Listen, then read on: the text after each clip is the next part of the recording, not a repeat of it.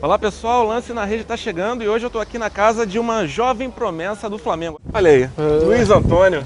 E aí, rapaz? E aí, cara, tudo bem? Tudo bom? Tudo bem.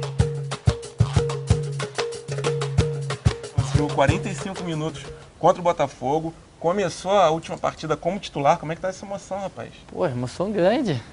A gente sempre quis, um sonho de sempre querer jogar no profissional do Flamengo e agora que chegou, é uma emoção muito grande. O Atlético Mineiro até que deu um trabalhozinho ali no primeiro tempo, a situação estava meio esquisita, os caras fizeram um gol. Mas aí depois o Ronaldinho Gaúcho resolveu desencantar e. Aí foi só alegria, né? é? Tava complicado, o jogo tava duro, a gente queria ganhar, o time deles é bom também.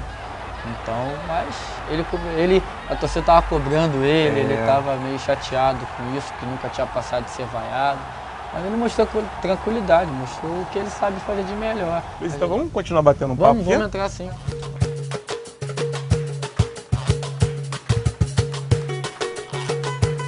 Vamos chegar? É, vamos chegando, devagarzinho. A história minha mesmo começou no salão. Eu comecei no salão do clube aqui perto, Piedade. Aí depois pro Social Ramos, onde o fenômeno começou e outros jogadores. Aí fui pro Madureira, é, Vila Isabel, aí depois cheguei em 2003 no Flamengo, bem pequenininho, cheguei pro campo, que eu tinha, já tinha sido chamado pro campo, mas eu ainda não jogava. Tem que ter um pouquinho de habilidade, um pouquinho do salão. Eu sou muito habilidoso, mas quando tá a bola na frente eu sei o que fazia, não sou aquele brucutu que fica parado e só toca a bola pro lado, não. Tem um pouquinho de habilidade, dá pra brincar um pouquinho. Ah, legal. E hoje no Flamengo você tem um cara que é super querido pela torcida, que é o Williams, tem o Ayrton chegando também. Então, quer dizer, a concorrência no meio, do, no meio de campo entre os volantes é, é muito grande, é, né? É grande. Vários jogadores excepcionais, não tem que falar. O Williams, que marca bastante. O Ayrton chegando agora para ajudar a gente. Tem eu, tem o, o Luiz Felipe, tem um monte de jogadores. Até o Maldonado mesmo que está machucado, que é um exemplo, uma referência que eu tenho para mim. Então é bem importante, a disputa está grande. Apresenta a família pra gente. Meu pai, bem? Carlos. Ele sempre fez gol.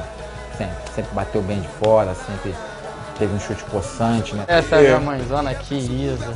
Ele sempre foi muito elétrico. Ele quebrava tudo dentro da minha sala. Meu irmão aqui, Leonardo. Às vezes quando ele, às vezes, quando ele mete o gol, ele começa a me zoar, aí eu meto o gol, eu zoo ele.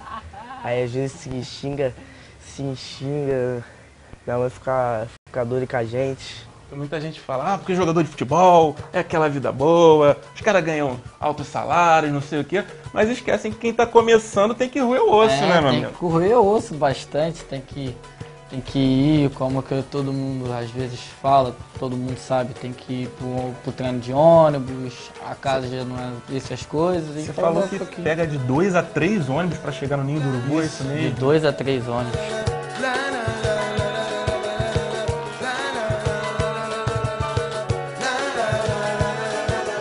Agora que está começando a começar a cair a ficha, como vocês falam, né? Eu estou ficando assustada, muito. Eu estou aqui emocionado, me emocionei no jogo, na estreia. Esse sempre foi o meu sonho, isso aí eu não vou negar para ninguém. Se der para mim, eu vou seguir o caminho dele. Se não der, eu só vou ficar por trás ajudando ele. Meu sonho sempre foi chegar ao profissional Flamengo. Uhum. Agora acho que você conseguiu. conseguindo, graças a Deus. Meu sonho mesmo é se firmar no Flamengo, jogar aqui, fazer história.